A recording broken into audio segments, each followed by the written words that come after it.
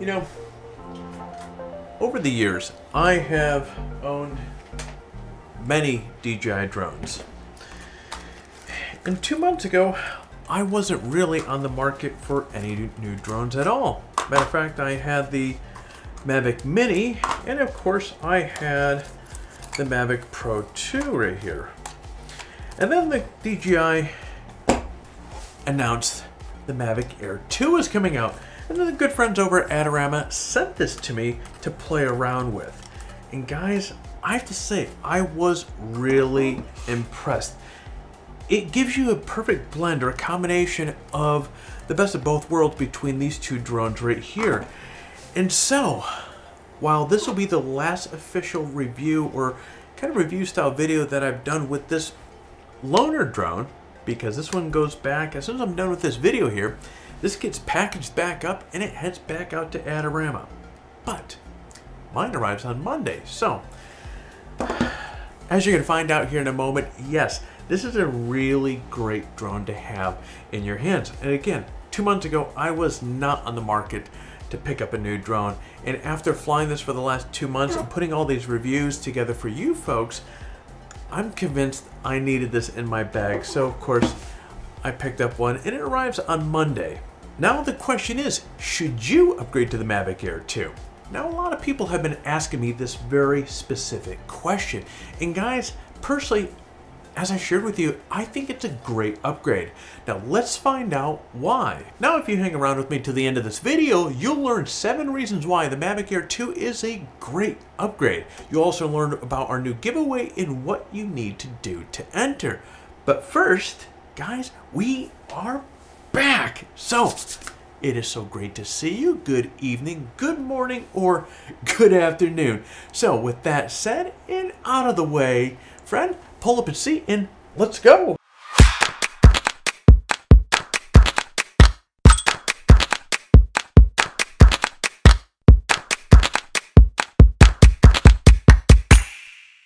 Now, before we get things going here, you may not be a subscriber to the channel yet. If not, I would personally like to welcome you here. We push out videos on a regular basis on all things relating to photography, gear reviews, and of course, drone related content. Plus, we always have some sort of giveaway going on, so there are a lot of perks to being around here. With that said, please consider hitting the subscribe button down below.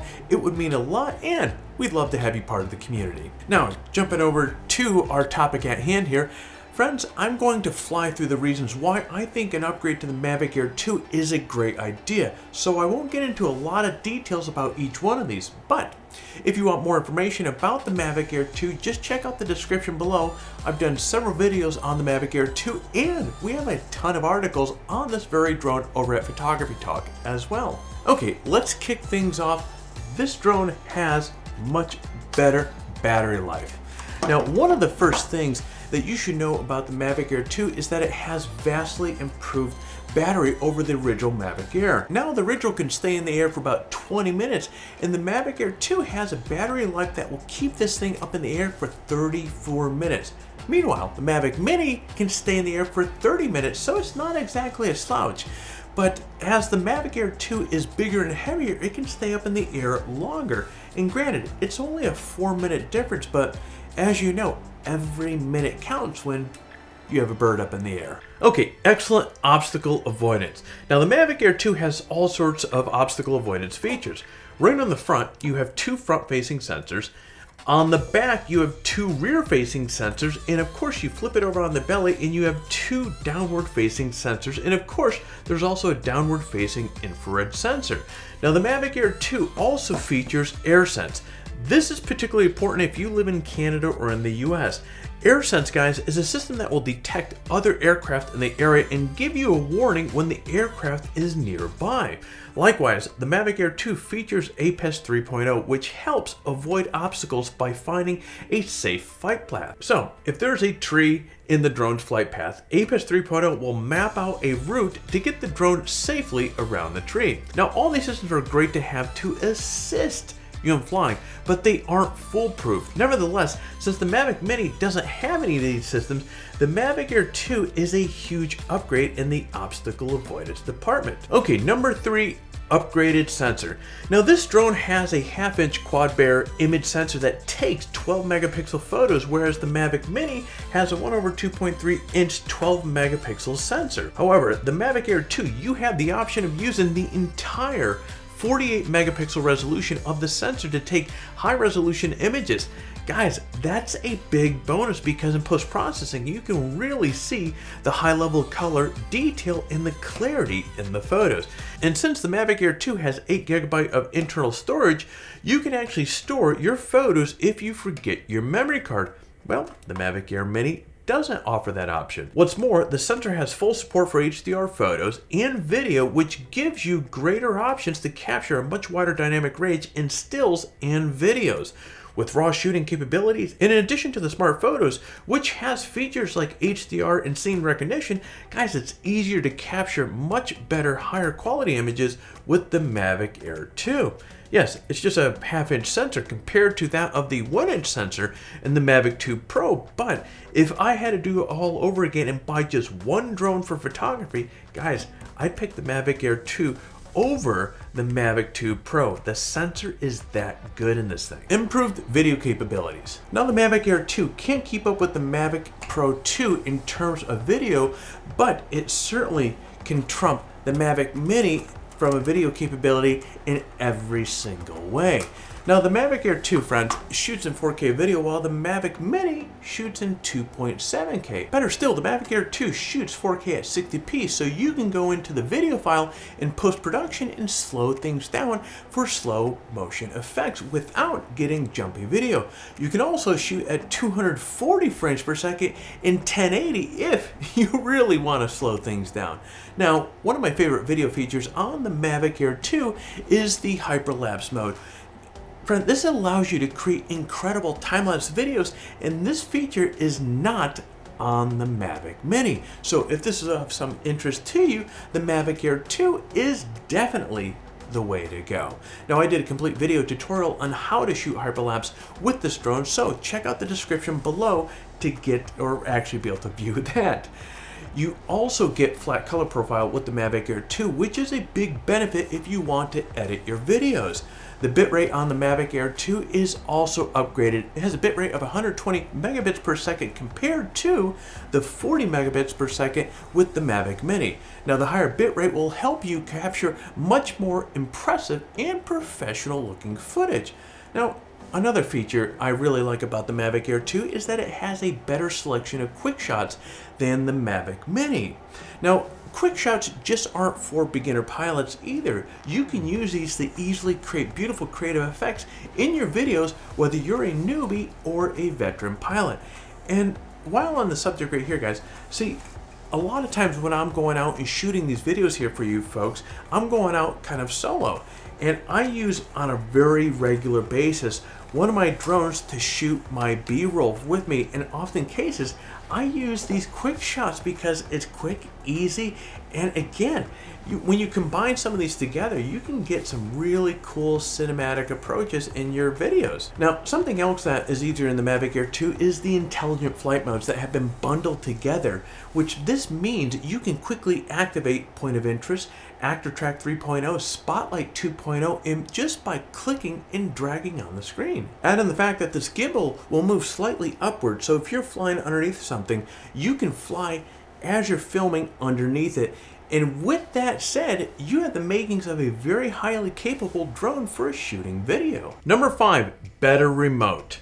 Now the new remote for the Mavic Air 2 is simply awesome. It feels great in your hands as you're operating the drone and the integrated antenna, which means that you don't have to mess around trying to get them pointed in the right direction. It's also way easier to mount your phone to this remote than past DJI remotes even if you have a case on your phone. This remote is also compatible with USB-C, which is a nice upgrade over the micro USB-C connection of previous DJI remotes, because not many devices in 2020 use micro USB. Another reason I like this new remote so much is that you can quickly change the flight speed with the toggle of the switch. This means you don't have to touch the screen to change the flight speed. Now combined with the excellent new features on this remote, the Mavic Air 2 also has OcuSync 2.0. This is a great upgrade because sometimes the enhanced Wi-Fi connection can be a little unreliable. But with OcuSync 2.0, the connection between the remote and the drone is much improved, even if there are large obstacles you know, for example, like a building between you and the drone. Again, these are significant upgrades over the Mavic Mini, which makes the Mavic Air 2 very attractive. Okay, number six, better propellers. One of the complaints that I have with the Mavic Mini is that you have to unscrew the propellers. This means carrying around a screwdriver with me in case I need to remove and replace one of these props. But with the Mavic Air 2, you get DJI's twist and lock propellers, so there's no need in carrying around any tools and no need in worrying about losing any tiny screws. Instead, it's a quick smooth motion to remove the props, which is a nice upgrade. Remove and, as you can see here, put these on really quick and easy. And that's a great upgrade. Now you need these better propellers also to support the Mavic Air 2's blazing fast speed. This thing tops out right around about 42 miles per hour in sport mode, whereas the Mavic Mini tops out at about 29 miles an hour. So, if you're a speed demon, the Mavic Air 2 is also a nice upgrade. All right, number seven, let's talk about great build quality. Now, if you hold the Mavic Mini in one hand and you hold the Mavic 2 Pro in the other hand, you're gonna get a real sense in how much better the build quality is in the Mavic Air 2. Now, I'm not saying the Mini is a piece of junk, it's actually far from that, but you can definitely tell it's DJI's budget drone. And also something to consider when you're feeling or considering the, the build quality of these here. When DJI built this drone, this 249 gram weight here was super important. So obviously you can't put all the bells and whistles inside this thing because then it's gonna go over 249 grams, which of course makes you have to register this thing. So they had to use lighter materials or less materials onto this drone to get it underneath that 249 gram window there. In addition to the better build quality, I like the fact that the Mavic Air 2 is still super small and lightweight. Now obviously this drone isn't as small and lightweight as the Mavic Mini, but it's still, guys look at this here. When it's folded up, we're talking about 7.1 inches long by 3.8 inches wide by 3.3 inches high. So that's pretty stinking awesome. And when it's unfolded, okay guys, look at 9.96 inches long by 7.2 inches wide by 3.3 inches or by 3 inches high rather. So again, that's pretty stinking awesome.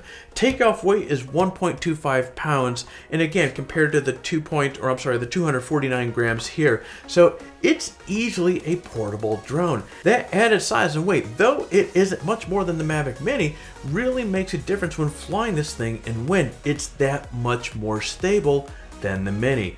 Now I also can appreciate the Mavic 2 has better lighting as well. There's an LED light on the bottom of this thing to assist with landing in the dark and numerous lights around the drone to help you see it when it's flying at night.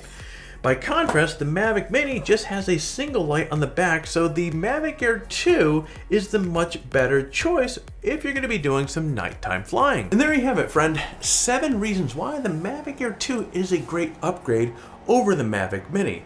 Now this is just a fantastic drone and honestly, I can't think of a better drone that you can get for under a thousand dollars. And since it's $799. It's way under the $1,000 threshold. Okay, now let's get on to the details of our current giveaways. Here are the prizes that we've got this time around. We have a GoPro Hero 8 Black. We have an H&Y K-Series filter kit that includes a circular polarizer, adapter rings, as well as an ND in there as well. We also have a Wander Hexad 45 liter duffel bag and a $100 Adorama gift card.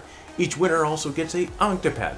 Now, as always, entering the giveaway is super simple. Step one, like this video and subscribe to our channel. Step two, leave a comment below. In fact, the more of our videos that you watch and leave a comment on, the more chances that you have to win. So, get watching some more of our other videos and leave some comments. Step three, register on Photography Talk and introduce yourself in the forum. Now, if you have registered on the site and introduced yourself already during the last giveaway, you're still eligible to win regardless. So, but still, get over there, say hi, hello, we'd love to see you.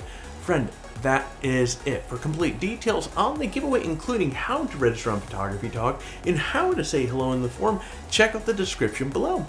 Good luck. Well, there you go, friends. That was a lot of fun putting this video here together for you. If you found some value out of it, if you like this video, please hit the like button down below. If you are currently not subscribed to the channel, as I mentioned earlier, we would love to have you part of here, so please consider subscribing to the channel and last but not least, hit that bell, kick it, smash it, whatever you need to, so therefore you are notified each time that we come out with a new video. Well, with that said, I'm going to put these drones away, get charging some batteries to have some fun. Actually, this one, as I shared with you, is being packaged back up to head back out to Adorama, and mine arrives on Monday. So, my friend, you have yourself a fantastic rest of your weekend. Well, I'm going to jump out of here. You get out there and create your best shot.